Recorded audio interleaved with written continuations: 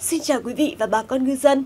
Thời tiết tại các vùng biển đang diễn biến tương đối xấu. Dự báo trong đêm nay và ngày mai, do chịu ảnh hưởng trực tiếp của giải hội tụ nhiệt đới nên vùng Vịnh Bắc Bộ cũng như là khu vực Bắc Biển Đông sẽ có mưa rông kèm theo lốc xoáy và gió giật. Trong khi đó ở phía Nam, trường gió Tây Nam đang hoạt động mạnh.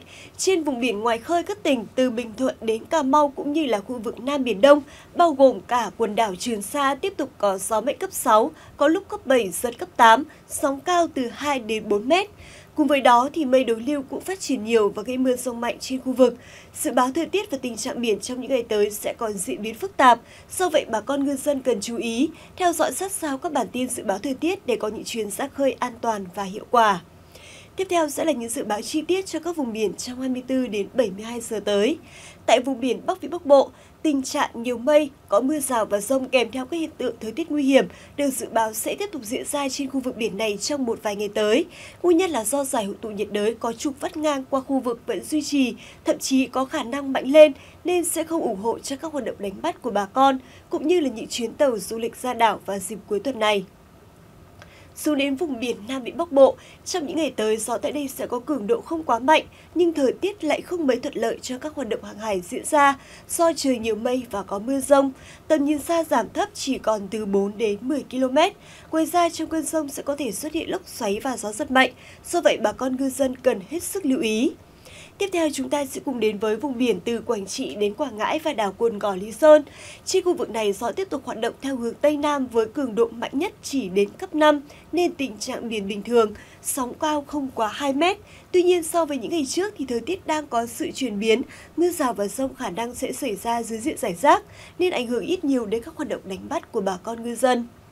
Đối với vùng biển dọc theo các tỉnh từ Bình Định đến Ninh Thuận và đảo Phú Quý, gió tại đây vẫn thịnh hành theo hướng Tây Nam. Tuy nhiên thì cường độ được dự báo sẽ có xu hướng mạnh dần lên. Trong hôm nay và ngày mai thì gió chỉ đạt ở mức cấp 4 đến cấp 5. Sang đến hai ngày tiếp theo thì gió sẽ tăng lên cấp 5, có lúc cấp 6 gây biển động sóng cao.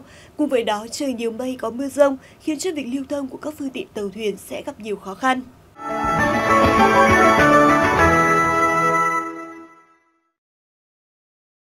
Tại vùng biển từ Bình Thuận đến Cà Mau và Côn Đảo. Đây là một trong số những nơi chịu ảnh hưởng mạnh mẽ của gió mùa Tây Nam. Từ nay đến ngày 15 tháng 8 thì gió sẽ duy trì với cường độ là cấp 6, có lúc cấp 7, giật cấp 8, biển động mạnh, cùng với sóng cao từ 2 đến 4 mét. Ngoài ra thì mưa sông tiếp tục xảy ra nhiều, khiến cho tầm nhìn giảm thấp kèm theo các hiện tượng thời tiết nguy hiểm. Bà con nên hạn chế cho tàu thuyền ra khơi trong những ngày này. Xa đến phía Tây tại vùng biển từ Cà Mau đến Kiên Giang bao gồm cả hai đảo Phú Quốc và Thổ Chu. Nơi đây duy trì đới gió Tây Nam hoạt động với cường độ ở mức trung bình. Tuy nhiên thì tình trạng thời tiết xấu vẫn diễn ra. Trong mưa rông có thể khả năng kèm theo lốc xoáy và gió rất mạnh nên sẽ không thuận lợi cho các hoạt động hàng hải.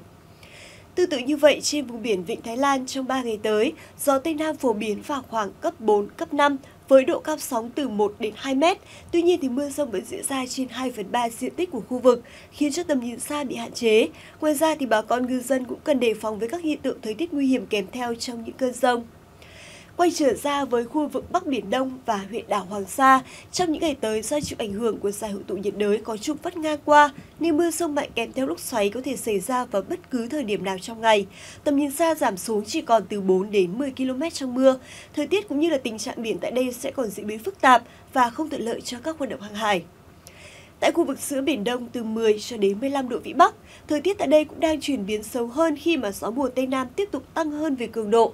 Khả năng sang đến ngày 15 tháng 8 thì gió sẽ duy trì với cường độ là cấp 5 đến cấp 6, giật cấp 7, cấp 8 kèm theo mưa rông mạnh nên sẽ không an toàn cho các hoạt động lưu thông của tàu thuyền.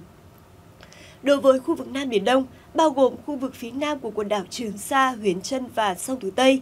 Trong những ngày tới, nơi đây được dự báo là vùng biển xấu nhất trên khu vực Biển Đông vì gió Tây Nam duy trì với cường độ mạnh, phổ biến ở mức cấp 5, cấp 6, có lúc lên tới cấp 7, giật cấp 8, sóng biển cao từ 2 đến 4 mét biển động.